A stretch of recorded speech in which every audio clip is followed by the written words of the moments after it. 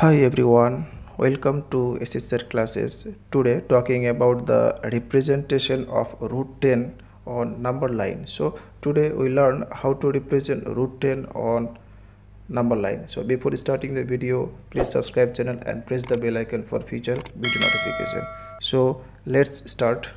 First of all, drawing a line here and mark the end by arrow and it represent the num number line. So now marking the numbers.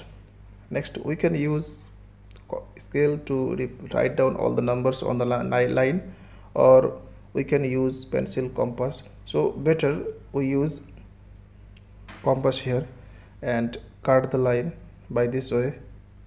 Okay you can use scale okay as you wish okay.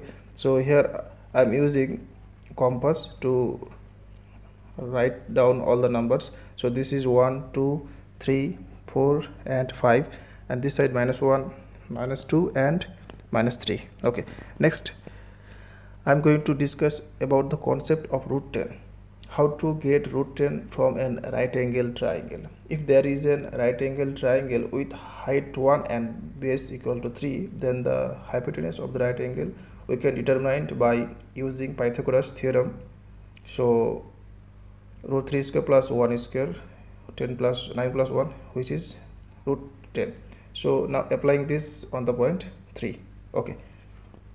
So first of all we have to draw 90 degree angle on the on 3 so first of all drawing 90 degree on 3 so if you don't know how to construct 90 degree then please watch my video which I give in my channel. Okay. Now drawing 90 degree angle on the point 3 okay joining this to get 90 degree on 3 okay so we got 90 degree angle. Now taking the length between any two numbers here all numbers all distance are same. So putting the compass here and cut the line. Okay.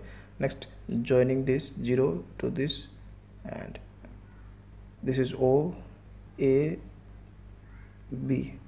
OAB is a right angle triangle and this is root 10 now taking OB by compass and drawing an arc which cut the number line at a point P. So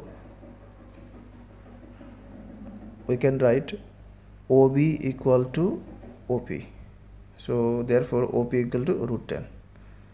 That's all. Thanks for watching. If this video is helpful then please subscribe, like, comment on my video.